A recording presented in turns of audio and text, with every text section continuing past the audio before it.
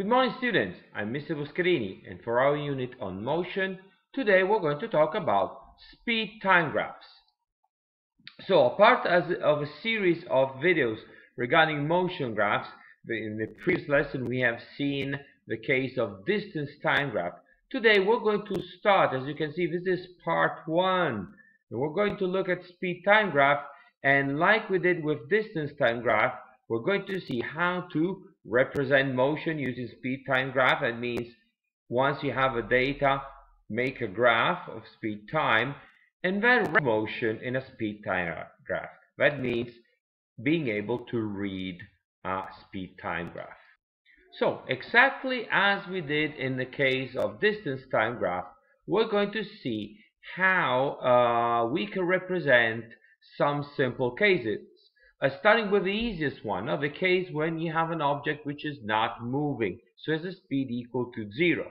Now, if you remember, in a distance time graph, you this kind of motion was represented by a flat line, a line parallel to the x-axis, which I remind you once again, in uh, both cases of motion graphs, as always, the timeline. So the timeline is a horizontal line. Now, in this case, it's not simply a flat line. It has to be a flat line which goes along the x-axis because now we have uh, what does no movement what does it mean an object which is not moving? It means has a speed which is always equal to zero but this case v equals zero is over here.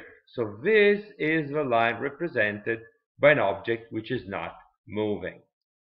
On the other hand if you have an object which has a positive speed, a positive constant speed, in that case you will have again a flat line, but it will be a flat line above the x-axis. As you can see here, this uh, purple line represents a constant speed, which we'll call v1.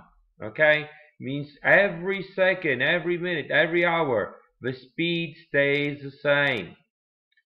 How about this orange line? Again, this orange line represents a motion with constant speed, and we'll call this V2. But what we can say of V2 compared to V1? We can say that V2 is greater, is bigger than V1, because it's always constantly above. You might want to think, okay, but what if the speed is negative? And I want you, again, to pause this video for a second, just to think. What if the speed is negative? Where does that, well, how is that represented? And of course, will be represented by a line which goes below here. Now, now, right now, I only have an axis, an axis for positive speed, but here you will have a line down here to represent a, a constant negative speed. In a fashion which is similar to what we've seen with distance time graphs, now we can say what happens if we have a constant acceleration. Now, constant acceleration means that you're increasing your speed by the same amount every given unit of time. Let's say you increase, for instance, if you have um, an acceleration of 2 meters per second squared, what does that mean? It means that your speed is increasing by steps of 2 meters per second every second.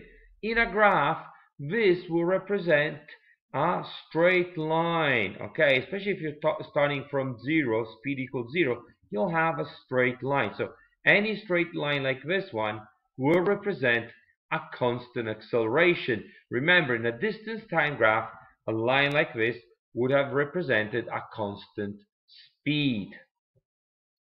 So how about the case when you have two different accelerations? You can see them here. This red line, we will call this A1. And this green line, we will call this A2.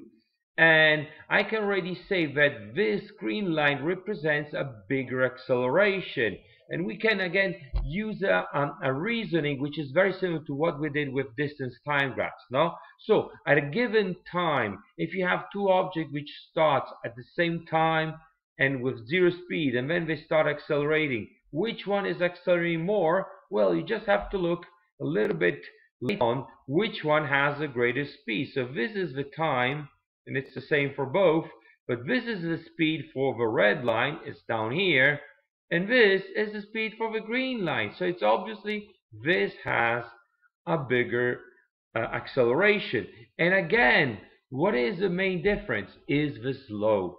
The slope is giving you the difference in acceleration.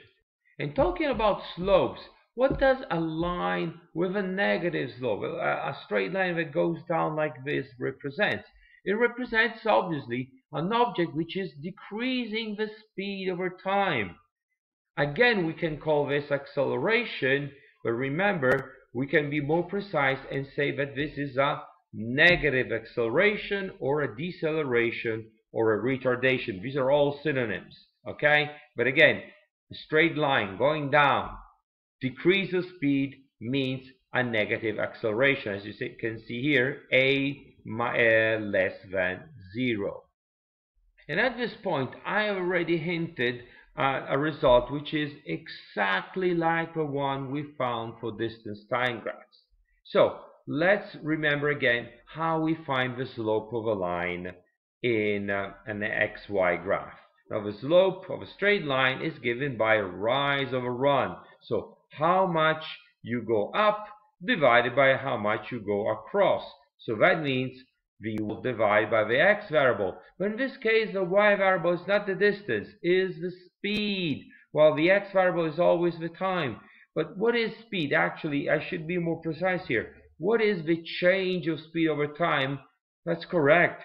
That's the definition of acceleration. So in a, in a fashion very similar to what we said previously, in a speed time graph, the slope, also known as the gradient of a line, is numerically equal to the acceleration. So let, let's stop for a second and think what kind of information we can take from a speed time graph. We can of course get the time traveled, we can get the speed at, at, at a given point, and we get also the acceleration. In the next video, you will see that we can actually extract also the information about distance traveled. Okay, let's finish this uh, lesson by looking on how to analyze, let's say, a complex uh, speed time graph.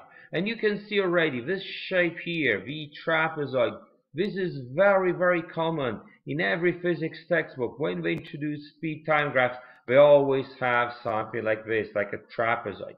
So, like we did in the exercise for distance time graph, we're going to break up our motion in three parts We're going to see from A to B, and then from B to C, and finally from C to D. So let's start from with the uh, part from A to B. Now, uh, the time taken from A to B is from 0 to 3 seconds, so it's 3 seconds. Information. The initial speed, U, remember, U is the symbol for initial speed, and that is clearly 0.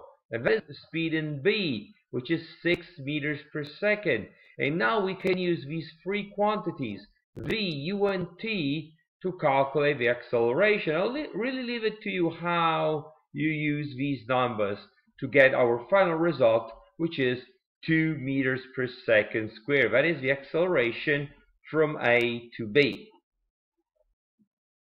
From B to C, we have a flat line. And as we said previously, a flat line in a speed time graph means a constant speed. And how much is this constant speed? It is 6. So for this amount of time, we have, which is 4 seconds, no, from 3 seconds to 7 seconds, that is 4 seconds, uh, we have a constant speed of 6 meters per second. But if the speed is constant, I mean, you can do uh, the calculation yourself, or you can just write the acceleration is zero, zero meters per second squared. From C to D, you can see we have again a straight line, a straight line going down. And if you remember what we seen a few minutes ago, this means a negative acceleration. Indeed, we have a speed which goes from a value up here in C all the way to a value of zero. First of all, how long is this part here of a journey? It's six seconds and we have an initial speed which is 6 meters per second a final speed which is 0 and now you can work out your math and not surprised if you do 0 minus 6 is minus 6 divided by 6 you'll get an acceleration of minus 1 meters per second squared. In the next lesson, as I told you, we're going to learn also how to find the distance traveled. But for now, that's all. Goodbye from Mr. Boscherini.